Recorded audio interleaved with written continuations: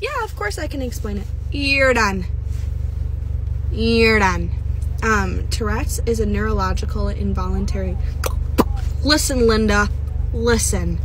Involuntary motor and vocal disorder. So, yeah.